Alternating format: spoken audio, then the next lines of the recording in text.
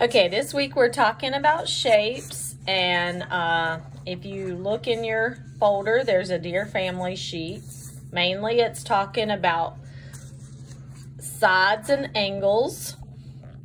So if you uh, notice the triangle is three, three sides and three angles. So if I draw a triangle, this would be a side, this would be a side, and this would be a side. Those are sides.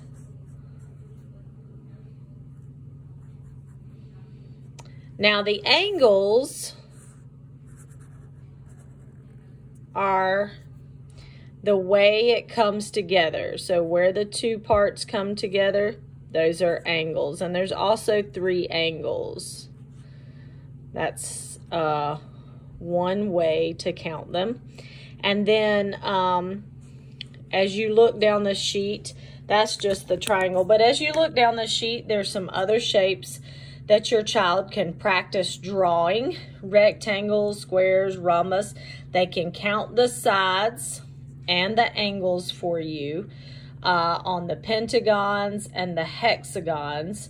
Um, there are a few examples of rectangular prisms and cubes at the bottom, our 3D shapes. These are 2D shapes. These are 3D shapes.